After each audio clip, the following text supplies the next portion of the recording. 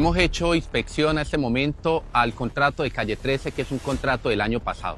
Con bastante preocupación he advertido a mi secretaria de Infraestructura de hacerle mayor seguimiento. Realmente no se ve el avance. Solamente trabajan los días que se les advierte de que venimos a hacer control y vigilancia y a inspeccionar la obra vamos a partir de hoy a oficiar a todos los entes de control porque realmente este tipo de contratistas son los que le hacen daño al municipio de Arauca. Un contrato que fue adjudicado el año inmediatamente anterior y solamente hasta en el mes de julio empezaron a trabajar. Esperaron que pasara todo el verano.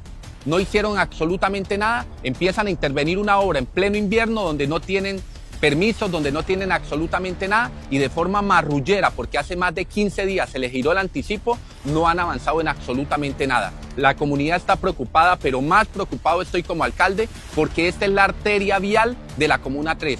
Tenemos embotellada la Comuna 3 debido a esta obra y así como va la obra, difícilmente la van a poder entregar porque no han traído material, no han avanzado y realmente ponen 5 o 10 personas a trabajar máximo cuando saben que vamos a hacer visitas en la obra. Entonces, es preocupante la situación. Estos contratos del gobierno anterior que fueron entregados a dedo e irresponsablemente a contratistas que sabemos que tienen mala fama y mala maña son los que le hacen daño a nuestro municipio.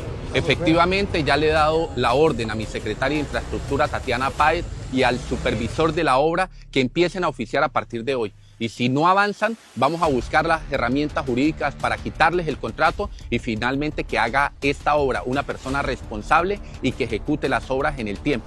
Porque lo que han hecho es no hacer la obra en verano para venir a hacerla ahorita en invierno, para después pedir adicional de tiempo y de presupuesto y seguirle mamando gallo al pueblo araucano.